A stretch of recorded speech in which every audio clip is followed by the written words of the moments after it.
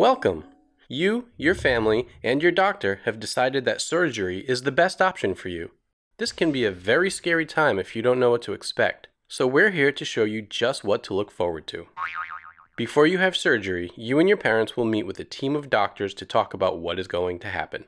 Sometimes the team uses big words to describe what they're going to do, so it's okay for you to ask questions about what they're saying. The doctors will give you an examination, during which they may need to take a look into your nose and mouth, as well as listen to your heart and lungs. Your doctors are meeting with you to make you feel better, so you don't have to be afraid.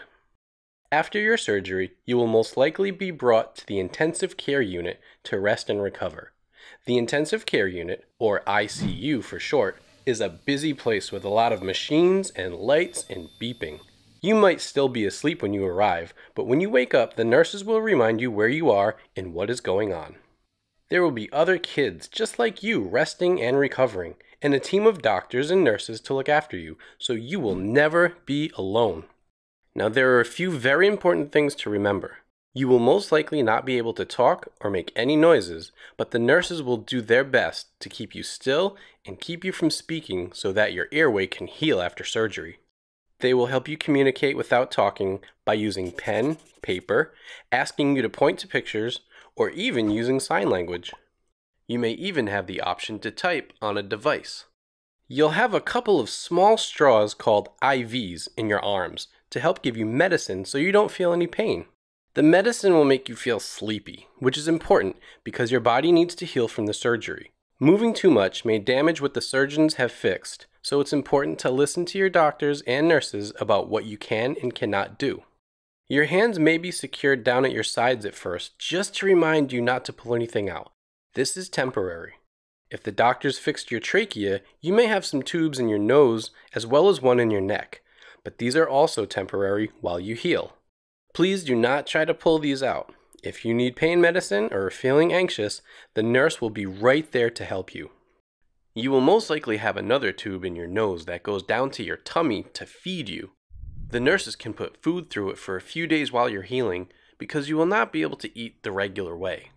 You may also have a tube to help you go to the bathroom. This is sometimes uncomfortable and the nurses will take it out as soon as it's safe for you to move around and go to the bathroom.